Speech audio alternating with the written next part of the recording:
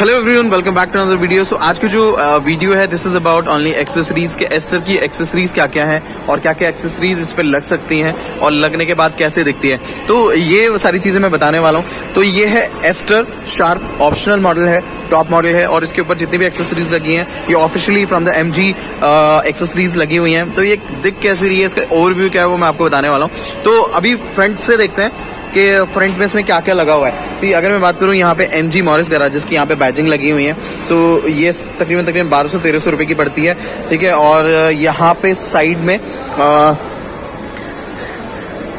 Okay so यहाँ पे एक एक्सेसरीज यहाँ पे लेयर गार्निश लगी हुई है. फ्रंट प्रोजेक्टर हेडलैम्प्स के नीचे जो हेडलैम्प्स गार्निश होती है वो लगी हुई है यहाँ पे. बम्पर कॉर्नर प्रोडक्टर यहाँ पर प्लेस है. इसके नीचे यहाँ पे इसके प्लेट्स के ऊपर ही आ, ये कॉर्नरिंग गार्निश यहाँ पे लगी हुई है. और फ्रंट में कुछ ज़्यादा और चीज़ें तो है नहीं है. ठीक है इसके अलावा बोथ साइड्स में सेम चीज़ें प्लेस है. साइड की प्रोफ़ाइल की बात करूँ तो यहाँ पे वी लार्ज एक यहाँ पे वी लार्ज क्लाइडिंग होती है. क्लाइडिंग के ऊपर ही व्हील आर्च क्लाइडिंग यहाँ पर लगी हुई है, जो कि क्रोम पार्ट में अवेलेबल है तो वो यहाँ पर लगी हुई है।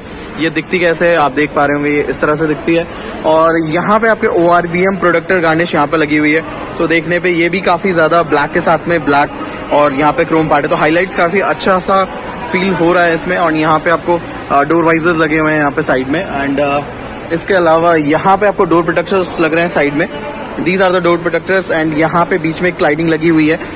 ये वाली क्रोम के साथ में एंड uh, यहाँ मुझे लगता नहीं है छोटी गाड़ियों के अंदर जो जितनी भी छोटी गाड़ियाँ हैं लाइक मिड साइज़ एस के अंदर आपको साइड uh, फुटरेस्ट की ज़रूरत पड़ती है।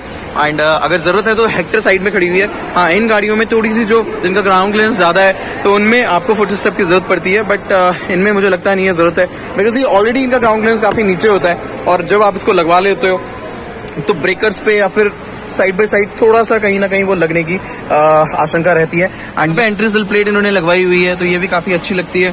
जब यहाँ पे पैर इस तरह से लगाते हैं, हम एंट्री लेते हैं तो ये इसकी प्रोटेक्शन के लिए होता है, ताकि यहाँ ये बॉडी पे सो एंट्री जो हमको होता है, यहाँ पे कोई भी स्क्रैचेस या फिर कोई भी डैमेज ना हो, उसके लिए यहाँ पे एंट्री सेल प्लेट इन्होंने लगवाई है। तो ये काफ़ी अच्छा लगता है। बट जब जो मैं बात कर रहा था फुट स्टेप की तो मुझे ज़रूरत, लगता नहीं है कि ज़रूरत पड़ती है साइड फुट स्टेप की, क्योंकि इतनी बड़ी गाड़ी है नहीं है। एंट्री आप एंट्री और एग्जिट इजिली गाड़ी के अंदर ले सकते हैं। ठीक है तो मुझे ज़रूरत नहीं लगती है इसके लगाने की। ठीक है बाकी अपना अपना मन होता है सभी का। तो ये साइड की कुछ एक्सेसरीज इसमें प्लेस थी। पीछे क्या क्या लगा हुआ है? सेम आपका गार्निश इसमें लगी हुई है यहाँ पर। और यहाँ पे आपको बम्पर कॉर्नर प्रोडक्टर्स हो गए नीचे साइड में लेयर क्रोम्स हो गई। और सबसे अच्छी चीज़ जो है इस गाड़ी की जो इन्होंने पीछे लगवाई हुई है वो है जो रियर गार्ड है। आ, ये रियर गार्ड को ज़्यादा बड़ा नहीं है डैमेज नहीं करा पाएगा।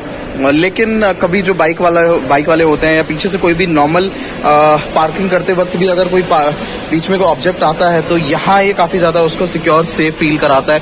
एटलीस्ट इसको कवर करेगा ये रियर बुलगार्ड। तो ये मैं रिकमेंड करता हूँ, लगवाना चाहिए। अच्छा होता है बट अकॉर्डिंग टू गवर्नमेंट आप फ्रंट पे नहीं लगवा सकते हो बट रियर लगवा सकते हैं। ठीक है? एंड यहाँ पे आपको पीछे की तरफ़ एक्सेसरीज में यहाँ पे एक क्रोम पार्ट लगाया हुआ है, ठीक है? एंड यहाँ पे पीछे का पूरा सेटअप कंप्लीट मैच कराने के लिए टेल गेट पीछे की और यहाँ पे क्रोम पार्ट लगाया हुआ है, ताकि दूर से काफ़ी अट्रैक्टिव भी लगे। लाइक हेक्टर की तरह थोड़ा सा फील देने की कोशिश करते हैं। हेक्टर के पीछे पीछे का रिफ्लेक्टर होता है। तो यहाँ पे इन्होंने क्रोम के साथ में एक रिफ्लेक्टर लगाने की कोशिश की। हालाँकि रिफ्लेक्टर नहीं है। तो एक रिफ्लेक्टर लगाया हुआ है पीछे ब्लैक कलर क्रोम के साथ में।